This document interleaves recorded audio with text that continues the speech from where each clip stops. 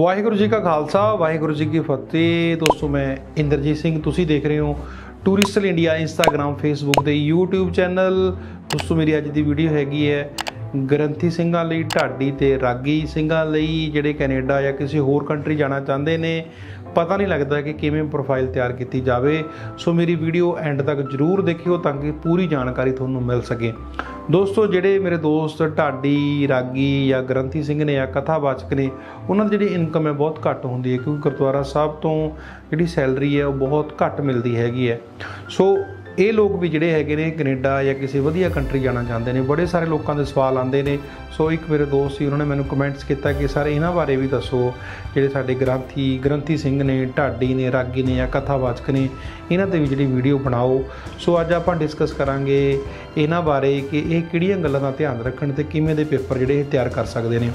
ਦੋਸਤੋ, ਇਹਦੀ ਕੋਈ ਸ਼ੱਕ ਨਹੀਂ ਕਿ ਰਾਗੀ, ਢਾਡੀ ਜਾਂ ਗ੍ਰੰਥੀ ਸਿੰਘ ਸ਼੍ਰੋਮਣੀ ਕਮੇਟੀ ਨੂੰ ਛੱਡ ਕੇ ਜਿਹੜੇ ਆਮ ਪਿੰਡਾਂ ਦੇ ਗੁਰਦੁਆਰਾ ਸਾਹਿਬ ਨੇ ਜਾਂ ਹੋਰ ਗੁਰਦੁਆਰਾ ਸਾਹਿਬ ਨੇ, ਉੱਥੇ ਜਿਹੜੀ ਸੈਲਰੀ ਹੈ ਉਹ ਬਹੁਤ ਘੱਟ ਹੁੰਦੀ ਹੈ।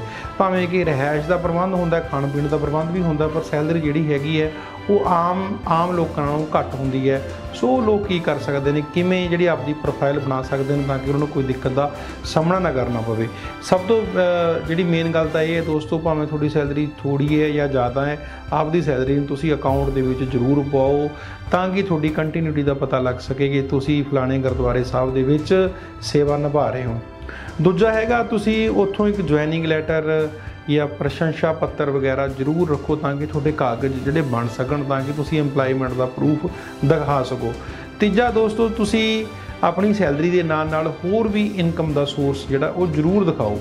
ਜਿਵੇਂ ਤੁਸੀਂ ਕੋਈ ਪਾਰਟ ਟਾਈਮ ਜੌਬ ਦਿਖਾ ਸਕਦੇ ਹੋ, ਕੋਈ ਜੇ ਕੋਈ ਪਿੰਡਾਂ ਦੇ ਵਿੱਚ ਰਹਿੰਦਾ, ਉਹ ਡੇਅਰੀ ਫਾਰਮ ਦਾ ਕੰਮ ਵੀ ਦਿਖਾ ਸਕਦਾ ਹੈ। ਹੋਰ ਵੀ, ਕਿਉਂਕਿ ਗੁਰਦੁਆਰਾ ਸਾਹਿਬ ਦੇ ਵਿੱਚ ਸਵੇਰੇ ਸ਼ਾਮ ਵੀ ਜਿਹੜਾ ਕੰਮ ਹੁੰਦਾ ਹੈਗਾ, ਸੋ ਦਿਨ ਦੇ ਵਿੱਚ ਤੁਸੀਂ ਆਲਮੋਸਟ ਫ੍ਰੀ ਹੋਣੇ ਹੈਗੇ ਹੋ। ਤਾਂ ਉਸ ਟਾਈਮ ਨੂੰ ਯੂਟਿਲਾਈਜ਼ ਕਰਕੇ ਆਪਾਂ ਕਿਤੇ ਹੋਰ ਜਿਹੜਾ ਕੰਮ ਉਹ ਦਿਖਾ ਸਕਦੇ ਹੈਗੇ ਆ ਕੋਈ ਛੋਟਾ ਮੋਟਾ ਬਿਜ਼ਨਸ ਦਿਖਾਇਆ ਜਾ ਸਕਦਾ ਹੈ, ਕੋਈ ਟਿਊਸ਼ਨ ਸੈਂਟਰ ਵੀ ਦਿਖਾਇਆ ਜਾ ਸਕਦਾ ਹੈਗਾ। ਜਾਂ ਤੁਸੀਂ ਕਿਤੇ ਹੋਰ ਤੋਂ ਸੈਲਰੀ ਜਿਹੜੀ ਆਪਦੀ ਉਹ ਪਵਾ ਸਕਦੇ ਹੋ। ਕਿਉਂਕਿ ਜਦੋਂ ਆਪਾਂ ਐਸਓਪੀ ਬਣਾਵਾਂਗੇ, ਆਪਾਂ ਲੈਟਰ ਦਵਾਂਗੇ ਐਮਬੈਸੀ ਨੂੰ, ਉਹਦੇ ਵਿੱਚ ਲਿਖਾਂਗੇ ਕਿ ਗੁਰਦੁਆਰਾ ਸਾਹਿਬ ਮੈਂ ਜੌਬ ਕਰਦਾ, ਇੱਥੇ ਜਿਹੜੀ ਮੇਰੀ ਜੌਬ ਹੈ ਉਹ ਸਵੇਰੇ ਸ਼ਾਮ ਹੀ ਹੁੰਦੀ ਹੈ। ਦਿਨ 'ਚ ਮੈਂ ਫ੍ਰੀ ਹੁੰਦਾ ਤੇ ਦਿਨ ਦੇ ਵਿੱਚ ਮੈਂ ਇਹ ਕੰਮ ਕਿਤੇ ਹੋਰ ਕਰਦਾ। ਭਾਵੇਂ ਆਪਾਂ ਕੰਮ ਅਸਲ 'ਚ ਕਰਦੇ ਹੋਈਏ ਜਾਂ ਨਾ ਕਰਦੇ ਹੋਈਏ, ਆਪਾਂ ਪੇਪਰ ਹੀ ਤਿਆਰ ਕਰਨੇ ਹੁੰਦੇ ਹੈਗੇ ਆ ਕਿਉਂਕਿ ਜਿਹੜਾ ਵੀਜ਼ਾ ਹੈ ਦੋਸਤੋ, ਉਹ ਤੁਹਾਨੂੰ ਬੁਲਾ ਕੇ ਨਹੀਂ ਪੁੱਛਦੀ ਐਮਬੈਸੀ ਕਿ ਤੁਸੀਂ ਕੀ ਕਰਦੇ ਹੈਗੇ ਹੋ। ਜਾਂ ਤੁਹਾਨੂੰ ਕੋਈ ਕਾਲ ਨਹੀਂ ਆਉਂਦੀ, ਸਿਰਫ ਤੁਸੀਂ ਆਪਦੇ ਡਾਕੂਮੈਂਟ ਹੀ ਦਿਖਾਣੇ ਹੁੰਦੇ ਨੇ ਤੇ ਜਿਹੜਾ ਵੀਜ਼ਾ ਉਹ ਤੁਹਾਡੇ ਪੇਪਰਾਂ ਨੂੰ ਲੱਗਣਾ ਹੁੰਦਾ ਹੈ। ਜੇ ਤੁਸੀਂ ਵਧੀਆ ਆਪਦੀ ਪ੍ਰੋਫਾਈਲ ਦਿਖਾ ਦੋਗੇ ਤਾਂ ਤੁਸੀਂ ਵੀਜ਼ਾ ਜਿਹੜਾ ਉਹ ਲੈ ਜਾਓਗੇ। ਇਸ ਦੇ ਨਾਲ ਤੁਸੀਂ ਜਿਹੜੀ ਆਪਦੀ ਰਿਟਰਨ ਉਹ ਵਧੀਆ ਭਰਨੀ ਹੈਗੀ ਹੈ। ਵਧੀਆ ਘੱਟੋ ਘੱਟ ਜਿੱਥੇ ਤੱਕ ਤੁਹਾਨੂੰ ਟੈਕਸ ਨਹੀਂ ਪੈਂਦਾ, ਉੱਥੇ ਤੱਕ ਤਾਂ ਤੁਸੀਂ ਜਿਹੜਾ ਟੈਕਸ ਵਿਦਆਊਟ ਟੈਕਸ ਜਿਹੜੀ ਰਿਟਰਨ ਭਰ ਹੀ ਸਕਦੇ ਹੈਗੇ ਹੋ ਨਾ। ਨਾਰਮਲੀ ਤੁਸੀਂ ਜਿਹੜੀ ਸਾਡੇ ਕੋਲ ਜਿਹੜੀਆਂ ਫਾਈਲ ਜਾਂਦੀਆਂ ਨੇ 2 ਲੱਖ 2.5 ਲੱਖ 3 ਲੱਖ ਦੀ ਰਿਟਰਨ ਭਰ ਦਿੰਦੇ ਹੋ। ਜਦੋਂ ਕਿ 5 ਲੱਖ ਤੱਕ ਤਾਂ ਟੈਕਸ ਫ੍ਰੀ ਹੈਗੇ ਹੋ 5 ਲੱਖ ਤੱਕ ਤੁਸੀਂ ਨਾਰਮਲ ਬੰਦਾ ਕੋਈ ਭਰ ਸਕਦਾ ਹੈਗਾ। ਸੋ 5 ਲੱਖ ਤੱਕ ਅ, ਤੁਹਾਨੂੰ ਜਿਹੜੀ ਰਿਟਰਨ ਉਹ ਘੱਟੋ ਘੱਟ ਭਰਨੀ ਚਾਹੀਦੀ ਹੈਗੀ ਹੈ। ਇਸ ਤੋਂ ਇਲਾਵਾ ਜਦੋਂ ਤੁਸੀਂ ਆਪਦਾ ਜਿਹੜਾ ਕੇਸ ਅਪਲਾਈ ਕਰੋ ਉਦੋਂ ਤੁਹਾਨੂੰ ਗੁਰਦੁਆਰਾ ਸਾਹਿਬ ਦੇ ਲੈਟਰ ਪੈਡ ਤੇ ਮੈਨੇਜਮੈਂਟ ਕਮੇਟੀ ਤੋਂ ਛੁੱਟੀ ਜਾਂ ਲੈਟਰ ਉਹ ਲੈ ਲੈਣਾ ਚਾਹੀਦਾ ਹੈਗਾ। ਤੁਹਾਡਾ ਜੁਆਇਨਿੰਗ ਲੈਟਰ ਹੋ ਗਿਆ ਤੁਹਾਡਾ ਲੀਵ ਲੈਟਰ ਹੋ ਗਿਆ ਤੁਹਾਡੀ ਸੈਲਰੀ ਅਕਾਊਂਟ 'ਚ ਹੋ ਗਈ।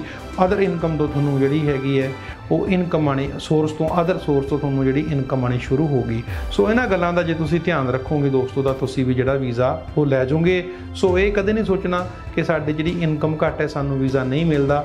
ਹਰ ਇੱਕ ਨੂੰ ਵੀਜ਼ਾ ਮਿਲਦਾ ਅਸੀਂ ਬਹੁਤ ਸਾਰੇ ਗ੍ਰੰਥੀ ਸਿੰਘਾਂ ਦਾ ਵੀਜ਼ਾ ਜਿਹੜਾ ਉਹ ਲੈ ਚੁੱਕੇ ਹੋ। ਜੇ ਤੁਸੀਂ ਕਾਗਜ਼ ਪੱਤਰ ਆਪਦੇ ਪੂਰੇ ਦਿਖਾ ਦੋਗੇ ਤਾਂ ਤੁਸੀਂ ਵੀ ਜਿਹੜਾ ਆਪਦਾ ਵੀਜ਼ਾ ਉਹ ਲੈ ਸਕਦੇ ਹੋ। ਇਸ ਤੋਂ ਇਲਾਵਾ ਬਹੁਤ ਸਾਰੇ ਜਿਹੜੇ ਗ੍ਰੰਥੀ ਸਿੰਘ ਨੇ, ਢਾਡੀ ਰਾਗੀ ਆ ਕਥਾਵਾਚਕ ਨੇ, ਉਹ ਰਿਲੀਜਨ ਵਰਕ ਵੀਜ਼ੇ ਤੇ ਵੱਖ-ਵੱਖ ਕੰਟਰੀਆਂ ਦੇ ਵਿੱਚ ਵਿਜ਼ਿਟ ਕਰਦੇ ਰਹਿੰਦੇ ਨੇ, ਜਿਵੇਂ ਕੈਨੇਡਾ ਚਲੇ ਗਏ। ਸੋ ਜਿਹੜੇ ਕੋਈ ਵਧੀਆ ਕੰਟਰੀਆਂ 'ਚ ਵਿਜ਼ਿਟ ਕੀਤਾ ਹੈ ਤਾਂ ਉਹਨਾਂ ਦਾ ਜਿਹੜਾ ਵਿਜ਼ਟਰ ਵੀਜ਼ਾ ਉਹ ਈਜ਼ੀਲੀ ਲੱਗ ਜਾਂਦਾ ਹੈਗਾ। ਬਸ਼ਰਤੇ ਤੁਹਾਡੀ ਪ੍ਰੋਫਾਈਲ ਜਿਹੜੀ ਉਹ ਵਧੀਆ ਹੋਵੇ ਤੇ ਤੁਹਾਡੇ ਕੋਲ ਪਿਛਲੇ ਵੀਜ਼ੇ ਦਾ ਵੀ ਜਿਹੜਾ ਰਿਕਾਰਡ ਹੋਣਾ ਚਾਹੀਦਾ ਹੈਗਾ।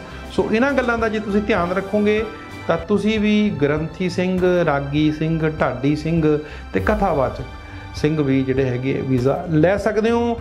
ਦੋਸਤੋ, ਮੇਰੇ ਵੱਲੋਂ ਹਮੇਸ਼ਾ ਕੋਸ਼ਿਸ਼ ਹੁੰਦੀ ਹੈ ਕਿ ਮੈਂ ਹਰ ਇੱਕ ਤਬ- ਤਬਕੇ ਵਾਸਤੇ ਵੀਡੀਓ ਬਣਾਵਾਂ, ਜਿਹੜੇ ਤੁਹਾਡੇ ਸਵਾਲਾਂ ਦੇ ਜਵਾਬ ਹੁੰਦੇ ਨੇ ਮੈਂ ਜ਼ਰੂਰ ਦਵਾਂ।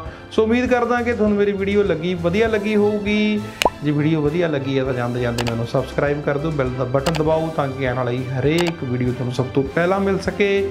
ਮੈਨੂੰ ਇੰਸਟਾ ਤੇ ਫਾਲੋ ਕਰੋ ਫੇਸਬੁੱਕ ਤੇ ਲਾਈਕ ਕਰੋ, ਹੋਰ ਵਧੇਰੇ ਜਾਣਕਾਰੀ ਲਈ ਆਪਣਾ ਕੇਸ ਡਿਸਕਸ ਕਰਨ ਲਈ ਆਪਣਾ ਕੇਸ ਲਗਵਾਉਣ ਲਈ ਤੁਸੀਂ ਸਕਰੀਨ ਤੇ ਦਿੱਤੇ ਹੋਏ ਨੰਬਰਾਂ ਤੇ ਕਾਲ ਕਰ ਸਕਦੇ ਹੋ। ਧੰਨਵਾਦ। ਵਾਹਿਗੁਰੂ ਜੀ ਕਾ ਖਾਲਸਾ। ਵਾਹਿਗੁਰੂ ਜੀ ਕੀ ਫਤਿਹ।